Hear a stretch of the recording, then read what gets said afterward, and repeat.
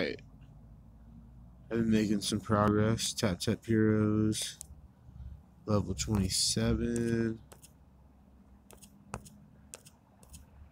So it's not only installed, but I am level 27 now. On Tap Tap Heroes. And I'm about to figure out what level I am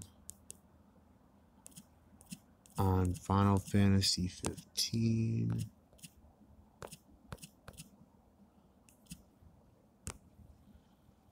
And GigDjinn Gaming Surfers 2020 quarter one game testing rosters being updated.